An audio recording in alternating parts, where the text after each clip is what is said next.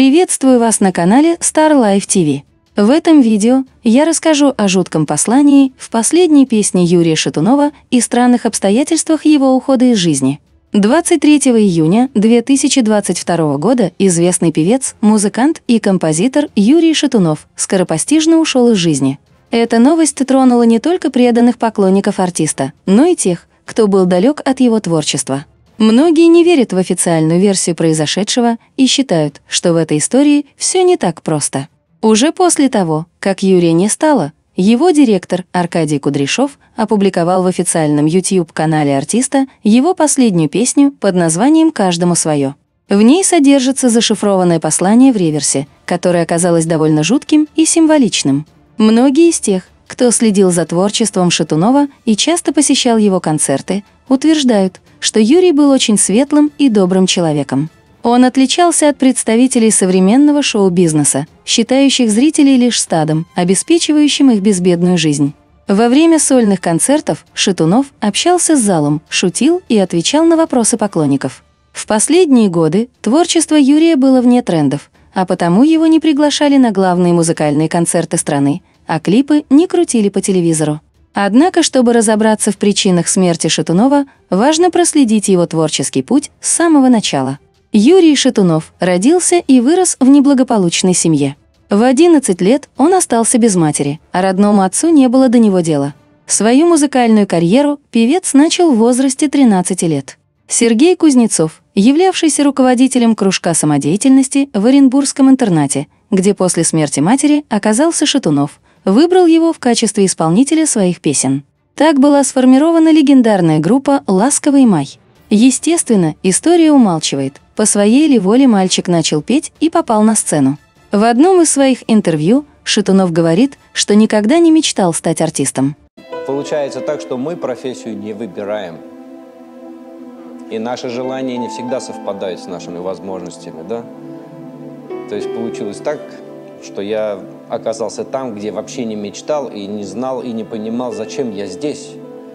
Само по себе создание группы «Ласковый май» и начало карьеры Шатунова окутано тайной. В интервью Федору Бондарчуку от 2009 года Юрий говорил, что сам запутался, где правда, а где ложь. Вас знаю сто раз уже спрашивали об истории возникновения «Ласкового мая». Вы уже на все интервью ответили. И, Я а... уже, честно говоря, запутался, где теперь правда. Более того, из его слов становится понятно, что настоящей правды не знает никто. Так, э, а много было вранья вокруг «Ласкового мая»? Да, по сути, все было враньем, на самом деле. Как бы там ни было, в период, когда Шатунов был на пике популярности и собирал многотысячные залы, он работал на систему и продвигал в массы соответствующие ценности – Песни Шатунова действительно были добрыми и безобидными, особенно в сравнении с современным шоу-бизнесом.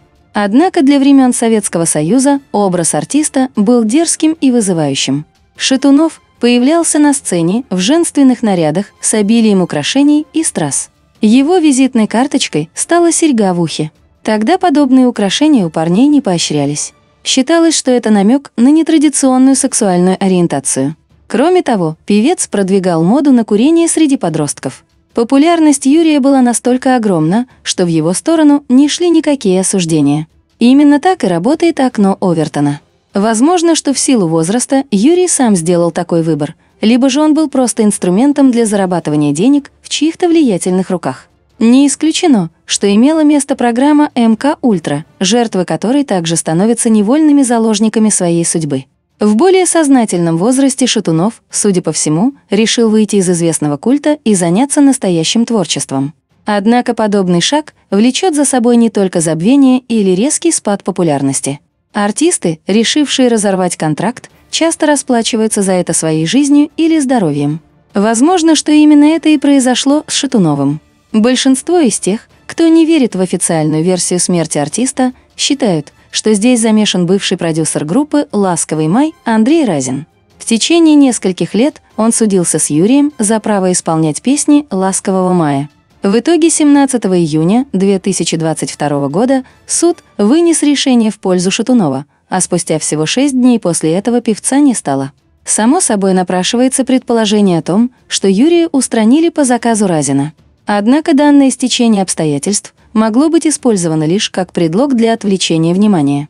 По факту же смерть Шатунова могла являться своеобразным жертвоприношением. Цель его состояла не только в устранении неугодного артиста, отказывающегося работать на систему, но и в массовом сборе Гаваха. Многие слушатели Шатунова восприняли известие о его кончине как личную трагедию. Люди искренне скорбели и плакали, отдавая свои эмоции на подпитку темных сущностей. Символизм начинается с даты ухода певца из жизни. 23 июня 2022 года дает отсылку к числу зверя. 23 представляет собой так называемый код вызова сатаны, так как при делении 2 на 3 получаем 0,666 тысячных. Номер месяца и сумма цифр года также дают шестерки. Многие обратили внимание на последний прижизненный клип Юрия Шатунова на песню «Не спорь со мной». Этот ролик кардинально отличался от всех предыдущих работ артиста и выглядел чересчур мрачно. На некоторых моментах создавалось ощущение, что Юрий находится в гробу и прощается со зрителями. Кроме того, в клипе присутствовало большое количество символики и иллюминатов. Подробный разбор этого видео вы можете найти на нашем канале. Что касается последней песни Юрия Шатунова, премьера которой состоялась уже после его смерти, вышла она 29 июня 2022 года. Дата эта не менее символична, чем день, в который артист покинул этот мир. В ней содержится код катастроф 911, так как цифры числа в сумме дают 11, а 6 — это перевернутое 9. Кроме того, песня вышла именно на шестой день смерти артиста. Даже в прямом прочтении текст песни каждому свое довольно символичный. Слушая ее, создается ощущение, что Шатунов знал о своем скором уходе. В первом куплете Юрий поет об освобождении из неволи. В качестве так называемой тюрьмы можно понимать физическое тело, которое, как многие считают, держит душу в плену. Вырывая прошлого страницы, вот и я, подобно легкой птице, покидаю свой вчерашний плен. Расправляю крылья и лечу, наполняя легкие свободой.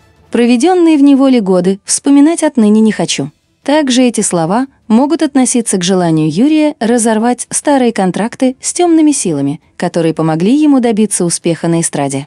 Певец мечтал заниматься настоящим творчеством и нести людям добро. В припеве Шатунов словно раскаивается за свои прошлые грехи. Каждому свое, сверчку шесток, птахи неба, падшему прощение. Во втором куплете Шатунов вновь говорит о переменах и о том, что он хочет изменить свою жизнь. Прочь от этих серых пыльных стен, от всего, что стало неуютным. Верю я, он будет мне попутным, долгожданный ветер перемен. Текст к своей песне Юрий Шатунов писал сам. Долгие годы артист являлся частью шоу-бизнеса, а потому он определенно знал о том, что в реверсе песен можно оставлять скрытые послания.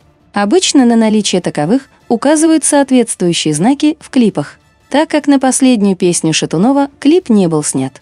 Мы просто проверили ее на наличие зашифрованного послания в реверсе. Вот что удалось разобрать при прослушивании песни Юрия Шатунова «Каждому свое в обратную сторону».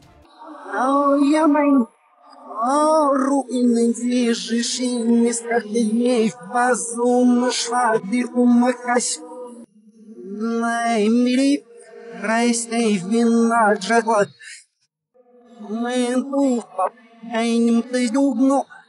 вина джагот. Менту папайним ты дубно. Ай, Менту юинь. Вот сочовись в та. Майтин люкрай сидетна. Шнаур. И тацу анпасин вишиватай. И нящар дынын зелял. Хейс фашнор. Меня щита, юс в хынның вини. И ты юс, ян вайн да джекна. Шнаур. Ушнахын, айнин таксяны мат. И дух пеловин. Ушнили. Айр куяль варпсара. Найл пиншарыш. Eu sui adicto. Es nicht viel не мерцов. Прости. Ютавонс. Таким образом, в реверсе песни Юрий говорит о том, что душа его не свободна. Наш мир он называет дном, призывая людей проснуться и найти в себе Бога. В определенный момент певец называет себя жертвой, а потому вполне вероятно, что он знал о том, что должно будет с ним случиться. Немало странностей было и на похоронах Юрия Шатунова. Во-первых, проводить артиста не пришел никто из коллег по сцене. Российский шоу-бизнес полностью проигнорировал смерть певца. Возможно, это объясняется тем, что Юрий пошел против системы и пожелал выйти из культа. Я на светлой стороне, и добро всегда победит. Во-вторых, во время церемонии прощания гроб несли молодые люди в белых перчатках, являющихся одним из главных масонских символов. Кроме того, стоя перед гробом, парни продемонстрировали масонский жест верности. В-третьих, странным обстоятельством была поспешная кремация тела артиста и разделение его праха на две части. С точки зрения православной церкви, к кое относил себя Шатунов, данный способ погребения не является правильным. Возможно, что сделано это было также в ритуальных целях, а также для того, чтобы скрыть какие-либо улики, опровергающие официальную версию. Таким образом, уход из жизни Юрия Шатунова вряд ли был естественным процессом. Скорее всего, певцу помогли отправиться на тот свет, как Кириллу Талмацкому и многим другим артистам, не вписывающимся в рамки современного шоу-бизнеса, но владеющими важной информацией. В завершении видео я хочу обратиться к подписчикам и постоянным зрителям канала. С момента отключения монетизации на территории России канал существует исключительно за счет вашей помощи и поддержки. Благодаря вам видео выходят с прежней периодичностью. Сейчас я вновь прошу поддержать канал любой посильной для вас суммой. Реквизиты, по которым вы можете оказать помощь, указаны в описании к этому ролику и в закрепленном комментарии. Переводы из-за границы доступны через мультивалютную карту Visa, криптовалюту или кошелек WebMoney. Заранее искренне благодарю всех неравнодушных зрителей. Спасибо за просмотр. Подписывайтесь на канал, ставьте лайки.